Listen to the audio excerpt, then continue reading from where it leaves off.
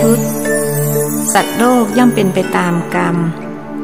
ประพันธ์โดย สุทษาอ่อนค้อม เรื่องที่หนึ่งมักกะลีผล บทที่ 31 มหาแพ้ว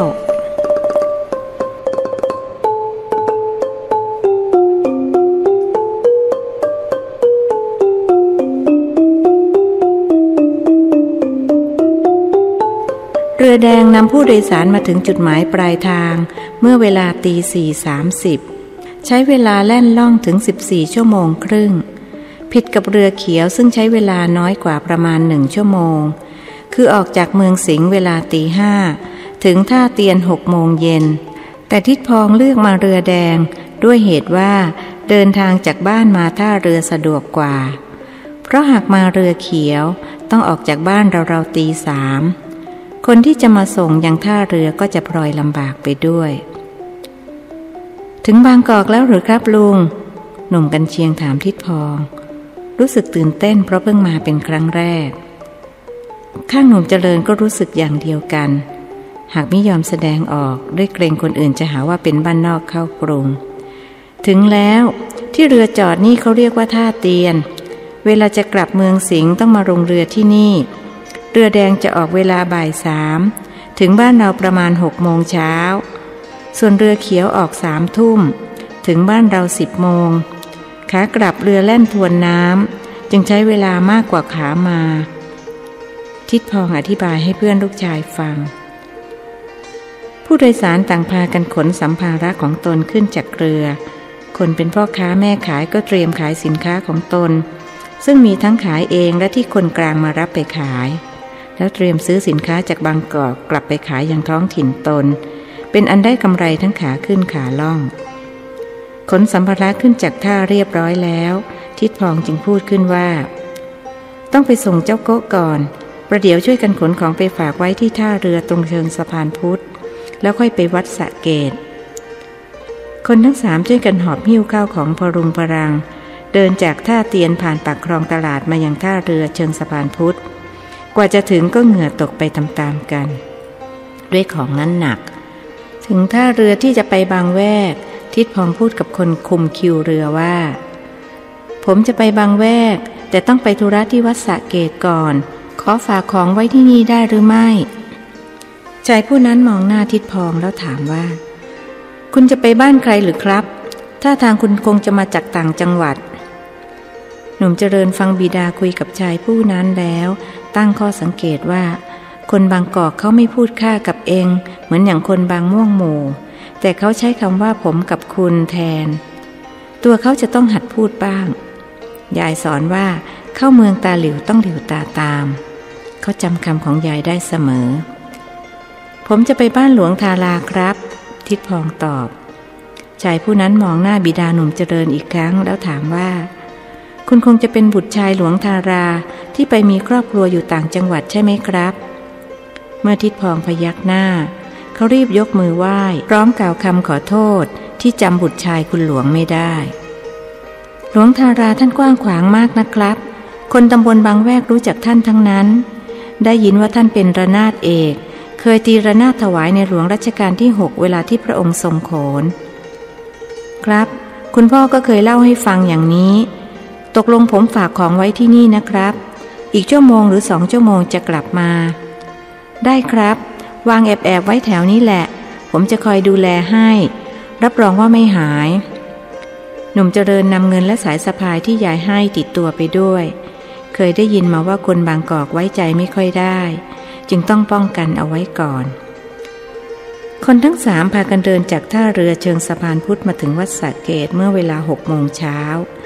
เข้าไปถามหามหาแพ้วตามกุฏิต่างๆ อยู่เป็นนาน พระส่วนใหญ่พากันออกไปบิณฑบาตโปรดสัตว์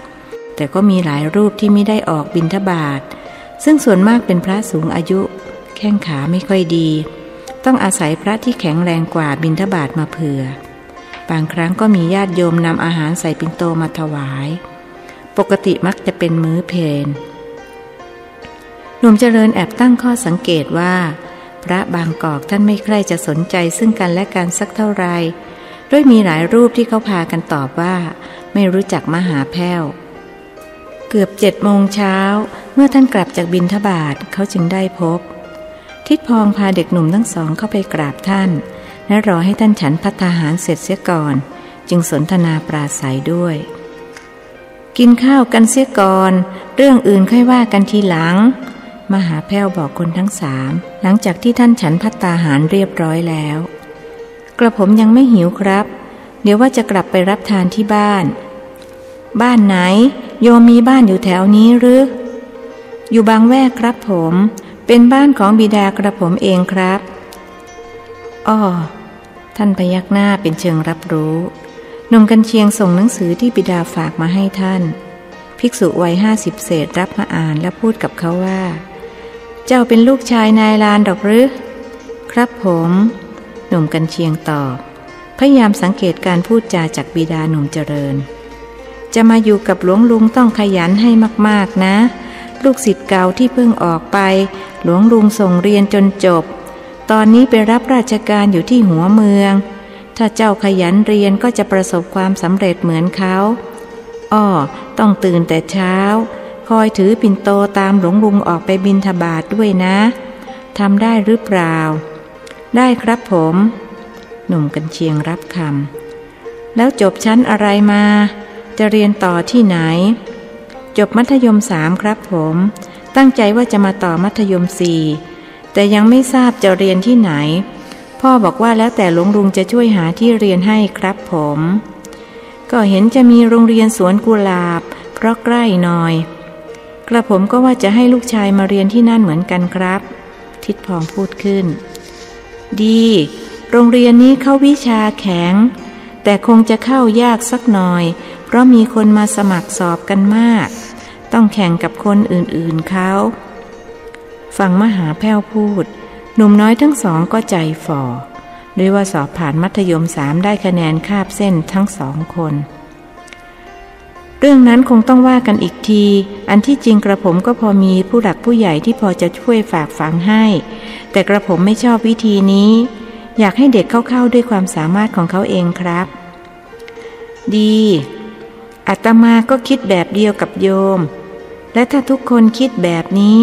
เราก็จะได้คนเก่งจริงดีจริง มารับใช้ชาติบ้านเมือง จริงไหม จริงครับผม ถ้าเช่นนั้นกระผมเห็นจะต้องกราบลา หมดหน้าที่ของกระผมแล้ว ประเดี๋ยวกินข้าวกันเสียหน่อยค่อยไป อาหารมีเยอะแยะ มาอยู่วัดนี้ไม่ต้องกลัวอดนะพ่อหนุ่มชื่อกันเชียงใช่ไหม ใช่ครับผม ชื่อเล่นชื่อโกะครับ หนุ่มกันเชียงตอบ เอาแต่ชื่อจริงก็พอ ที่นี่เขาไม่ค่อยนิยมเรียกชื่อเล่นกัน แล้วพ่อหนุ่มชื่ออะไรล่ะ ท่านถามหนุ่มเจริญ กระผมชื่อเจริญครับ ดี ชื่อมีความหมาย ขอให้เจริญสมชื่อนะ ขอบพระคุณครับ หนุ่มน้อยประนมมือไหว้ อยู่ที่นี่คงจะไม่เหมือนที่บ้านนอกนะ ต้องปรับตัวเข้ากับสภาพแวดล้อมให้ได้ ต้องฉลาดในการเลือกคบคน โดยเฉพาะที่วัดนี้มีลูกศิษย์ลูกหามากมาย บางคนก็ดีมาก บางคนก็ดีน้อย บางคนก็แทบไม่มีดีอะไรเลย ถึงพระก็เหมือนกัน ที่ดีก็มาก ที่มาอาศัยผ้าเหลืองหากินก็ไม่น้อย บางคนเขาไม่ได้มาบวชเพื่อหนีสงสาร แต่มาบวชพรานเข้าสุข บวชสนุกตามเพื่อน อย่างที่เขาแยกประเภทของการบวชไว้ เจ้าเคยได้ยินหรือเปล่า คนที่มาบวชนั้นมีกี่ประเภท ไม่ทราบครับ หนุ่มเจริญตอบ ไม่ทราบก็จะบอกให้ หลวงลุงประเมินไว้แล้ว คนที่มาบวชนั้นมีห้าประเภทด้วยกัน คือ อกหัก หลักลอย คอยงาน สังขารเสื่อม เลื่อมใสสี่ประเภทแรกนั้นมีมาก ส่วนประเภทหลังคือบวชเพราะเลื่อมใสนั้นมีน้อย พระดีๆถึงได้หายากนักหนา แล้วบวชนี้สงสารหมายความว่าอย่างไรครับ หนุ่มกันเชียงถาม ก็มาบวชเพื่อจะหนีจากวัฏสงสารน่ะสิท่านมองเห็นว่าการเวียนว่ายตายเกิดนั้นเป็นที่มาแห่งทุกข์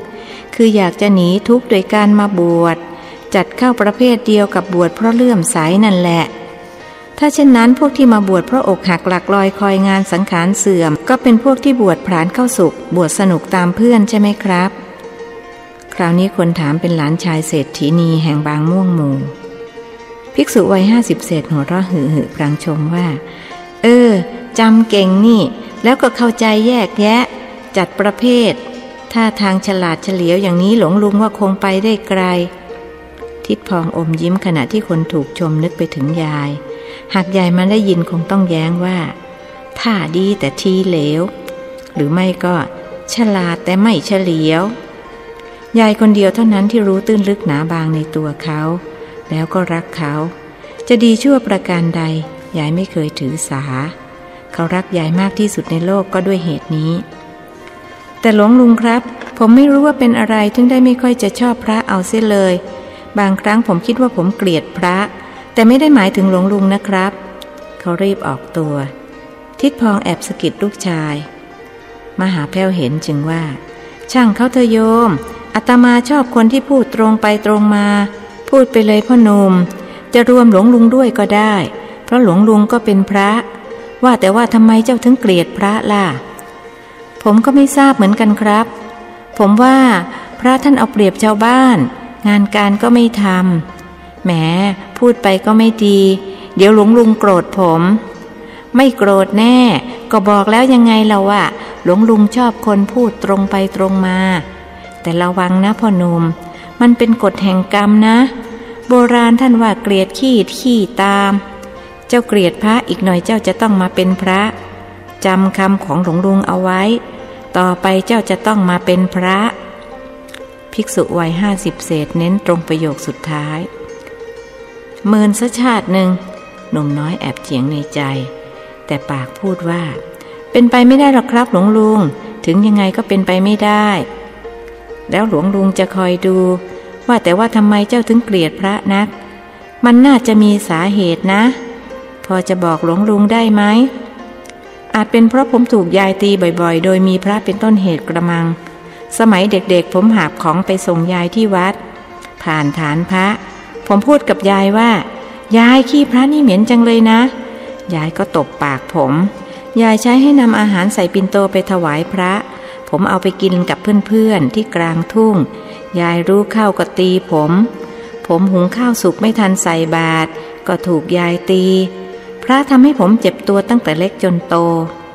เขาบอกต้นสายปลายเหตุ เจ้าก็เลยเกลียดพระครับ ถ้าอย่างนั้นก็เป็นการดีแล้วที่เจ้าไม่ได้มาอยู่วัด มิฉะนั้นก็จะเกลียดพระหนักเข้าไปอีก พระบางกอกนั้นจะว่าไปแล้ว ท่านไม่ค่อยเคร่งวินัยสักเท่าไรบางองค์บวชพรานเข้าสุขจริง ๆ ไม่ได้ทำประโยชน์ให้กับชาวบ้านร้านถิ่นเขาเลย เรียกว่าเลี้ยงเสียเข้าสุข เราเลี้ยงไก่ตัวผู้ไว้ขัน เลี้ยงไก่ตัวเมียไว้กินไข่ แมวเลี้ยงไว้จับหนู หมาเลี้ยงไว้เฝ้าบ้าน แล้วพระเลี้ยงไว้ทำไม ไหนลองตอบหลวงลุงมาสิ ไม่ทราบครับ หนุ่มน้อยสองคนตอบพร้อมกัน เลี้ยงไว้ดับทุกทางใจครับผม ทิดพองช่วยตอบให้ ถูกแล้วญาติโยมเลี้ยงพระไว้ก็เพื่อให้ช่วยดับทุกทางใจ พระรูปไหนช่วยญาติโยมไม่ได้ ก็ถือว่าเลี้ยงไว้เสียเข้าสุข การที่จะช่วยดับทุกทางใจให้เขาได้ พระต้องเล่าเรียนศึกษา ต้องให้ได้ทั้งปริยัติปฏิบัติและปฏิเวทไม่ใช่มานั่งนอนกินไปวันๆบางพวกยิ่งร้ายไปกว่านั้น คือตั้งตัวเป็นพ่อมดหมอผี เป็นหมอดู หมอสเสน่ห์หลอกลวงประชาชน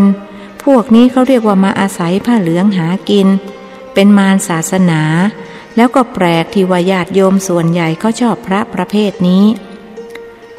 คนโง่เขลาเบาปัญญาเท่านั้นแหละครับหลวงพี่ที่ชอบ แต่คนฉลาดเขาจะรู้เท่าทัน ว่าสิ่งเหล่านี้ไม่ใช่คำสอนขององค์สมเด็จพระสัมมาสัมพุทธเจ้า แต่ก็อย่างว่านั่นแหละครับ คนโง่มีมากกว่าคนฉลาด พวกที่มาอาศัยผ้าเหลืองหากิน จึงมีคนนับถือมากกว่าพระที่ปฏิบัติดีปฏิบัติชอบ ทิดพองรู้สึกสนุกเมื่อพูดถึงเรื่องนี้ จึงกล้าออกความเห็นอย่างตรงไปตรงมา เขาเรียกว่าพวกมิจฉาทิฏฐิ พวกนี้น่าสงสารนะโยม อุตส่าห์เกิดมาเป็นมนุษย์พบพระพุทธศาสนา แต่กลับไปชอบของปลอมๆ พูดถึงมิจฉาทิฏฐิทำให้ผมนึกถึงคนแถวบ้านผมคนหนึ่ง แกเป็นคนจีน คนเรียกแกว่าตาแปะเตี๋ยว เป็นมิจฉาทิฏฐิมากเลยครับหลวงพี่ เที่ยวไปด่าพระสงฆ์องค์เจ้า หาว่าเป็นพวกขอทาน เกียรติคร้านไม่ทำมาหากิน แกมีลูกชายอยู่คนหนึ่งชื่ออาตง แต่เด็กคนนี้กลับมีความเข็นตรงข้ามกับบิดา คือเป็นสัมมาทิฏฐิ บิดามีอาชีพฆ่าหมูก็พยายามจะถ่ายทอดวิชาให้ลูกชาย แต่อาตงแกไม่เอา หนีไปบวชเนนอยู่ที่วัด เตียก็ไปฉุดกระชากลากดึงจะให้ศึกมาฆ่าหมูขาย บาปมากเชียวนะทำแบบนี้บาปเหลือเกิน ภิกษุวัยห้าสิบเศษว่า นั่นสิครับ แกตามรังควานจนเนนลูกชายต้องหนีไปอยู่วัดอื่น พอลูกบวชเป็นพระแกก็ไปขู่จะให้ศึก จ้างชายชะกันสองคนจะให้มาทำร้าย พระลูกชายก็ประกาศต่อหน้าบิดาว่าขอยอมตาย จะไม่ยอมศึก ชายสองคนที่ตาแป๊ะจ้างไปเกิดกลัวบาป จึงพากันกลับตาแป๊ะโกรธมาก ไปยืนด่าพระลูกชายที่หน้ากุฏิพวกชาวบ้านพากันมาห้าม แกก็ด่าพวกเขา ครั้นชาวบ้านจะรุมทำร้ายแกก็เกรงใจพระลูกชายเลยต้องยอมให้แกยืนด่าพระอยู่อย่างนั้น ตอนหลังพระลูกชายเลยหนีมาอยู่บางกอกครับ ผมก็รู้จักท่าน หนุ่มเจริญช่วยบิดาเล่าแต่แป๊ะตายไปจะตกนรกไหมครับ หนุ่มกันเชียงถามขึ้น ไม่ต้องสงสัย คนมิจฉาทิฏฐิตายไปก็ต้องตกนรกทั้งนั้น หลวงลุงตอบ นรกมีจริงหรือครับ ลูกชายในลานถามอีก เจ้าไม่เชื่อกระนั้นหรือ มหาแพ้วย้อนถาม บอกไม่ถูกครับหลวงลุง บางครั้งก็อยากจะเชื่อ แต่บางครั้งผมก็คิดว่าเป็นเรื่องเหลวไหล ดีแล้วที่เจ้าคิดอย่างนั้น การเชื่ออะไรง่าย ๆ ไม่ใช่วิสัยของคนฉลาด หลวงลุงชอบคนที่เชื่อยาก เพราะสอนง่าย ส่วนคนที่เชื่อง่ายนั้นสอนยาก ถ้าเจ้าอยากรู้เรื่องนรกสวรรค์ เจ้าต้องพิสูจน์ด้วยตัวเอง